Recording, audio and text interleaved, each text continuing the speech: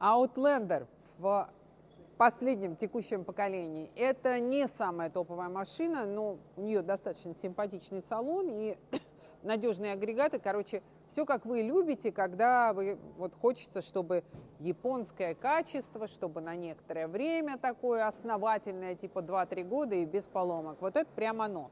Итак, э, смотрите, здесь э, салон симпатичный. Вот как это выглядит. Электросиденье здесь ну, вот это кожзам, естественно, натуральной кожи Outlander'ов не бывает. И внутри очень симпатичная тканевая вставка. Визуально, если вы представляете себе вдруг, что вы, например, эм, находитесь в китайском премиуме или, например, в европейском премиуме, вы можете себе представить, что это кожа Напа вместе с Алькантарой. И если на нее посмотреть, у вас даже в голове не будет диссонанса никакого, потому что выглядит это хорошо.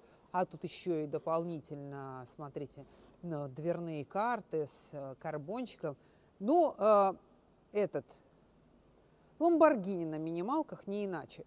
Смотрите, на самом деле Ламборгини у вас сломается, Урос.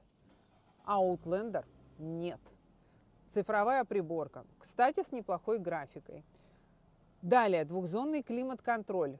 Камера заднего вида. Слышите, попискивает. Выбор режимов движения, панорама, симпатично, согласитесь. Дальше, так, так, так, багажник, вот, кстати, не помню, электро или нет. Бесключевой доступ старт-стоп я вам не демонстрировала, но он здесь есть. Фары хорошие, диодные. Пойдемте сейчас вместе поймем, багажник у нас электрический или нет. Подозреваю, что скорее не электрический. Вот.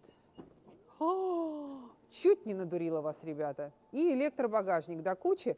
Ну и если вам нужно перевозить там детишек, подростков э, на третьем ряду, он здесь есть. Он, видите, совсем небольшой, то есть это именно места для подростков, но в случае, если вот, вот так нужен третий ряд до дачи доехать, он здесь есть.